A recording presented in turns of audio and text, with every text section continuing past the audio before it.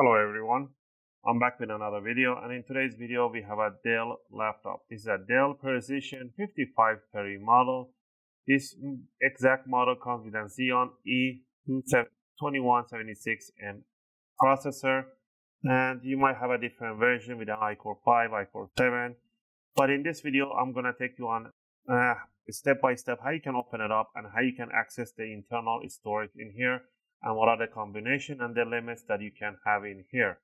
Just remember if you replace the main storage which comes with I think 500 gig NVMe SSD you can replace them but once you do that you have to reinstall the Windows. I made a short video how to create your Windows 10 or 11 USB boot drive. I made another video how to install it properly on your Dell laptop so you don't get those extra bloatware on your system follow any of the my Dell installation videos to install your Windows. It takes up to 5 to 10 minutes probably on this laptop or less. Once you're in the desktop, you can just do a Windows update, you install all the drivers, and you're set to go with a fresh installed of the Windows. Alright, uh, so with all this set, so let's get it started. First thing first, you want to power up the laptop, back up your files. I should say back up your files and then power it up. I'll go over the tool I'll be using. A good screwdriver set is always recommended. iFixit screwdrivers. They're one of the best screwdrivers I came around. I've been using. And they have a really good screw bits. We're going to be using a Phillips number one and a Torx number five. With these two sets, we're to get it started. All right. First, we're to use Torx 5 and we're going to remove all the screws from the side to back and in the front of the laptop. All the screws are the same size and height, so don't worry about mismatching them.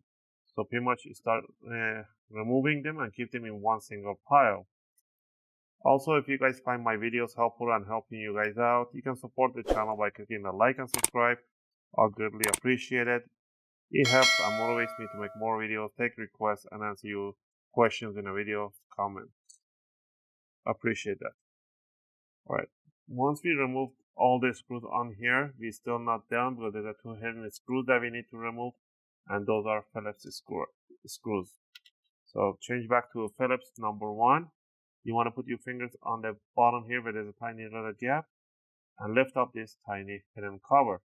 There's a laptop information right over here.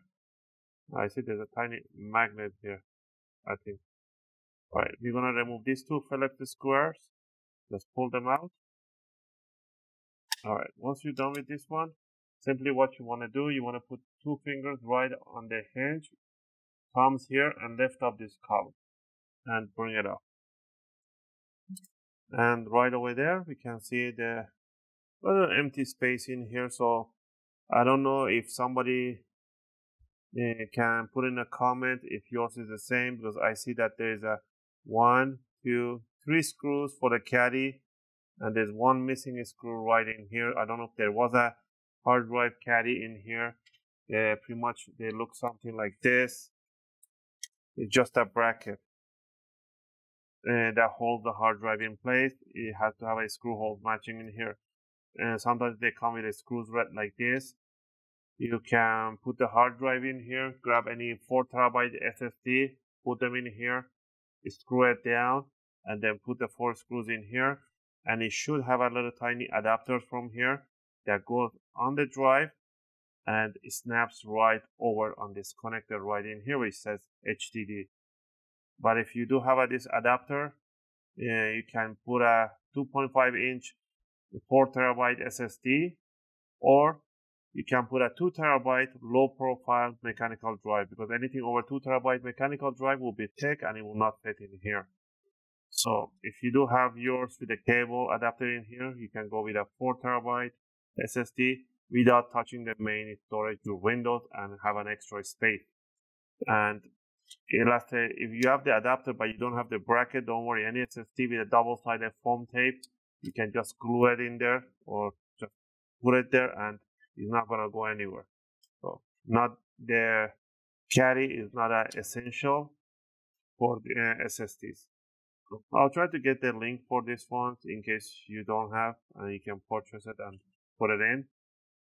Now, for the NVMe, there's only one DIMM available, which is right over here. These are Kingston 500 gig.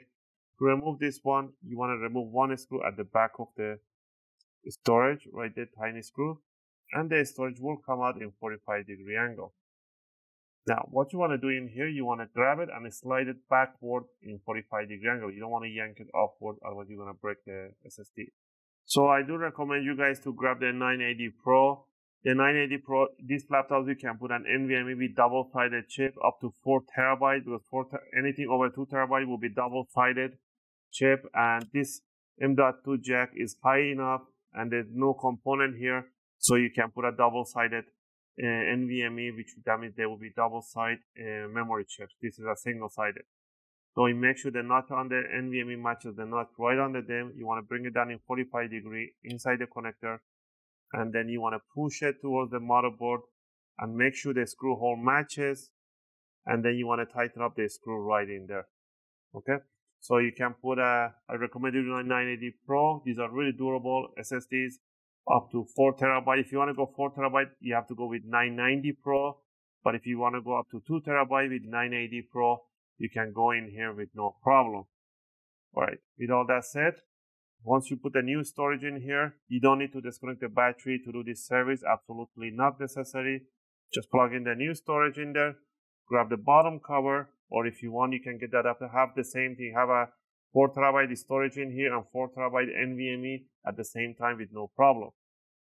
All right, once you're done with that, grab the bottom cover, put it right on top, push it down on the sides and then grab the two screws in the middle under the cover put it on top and put the rest of tiny screws all around the laptop don't forget that you will need to install your windows once you put the new drive in there also i hope you guys like this video and helped you guys out do your own upgrade for your dell precision laptop model 5530 if you have any question or request feel free to leave them in a video comment i'll try to answer them as soon as I can. As always, thanks for watching and I'll see you guys in my next video.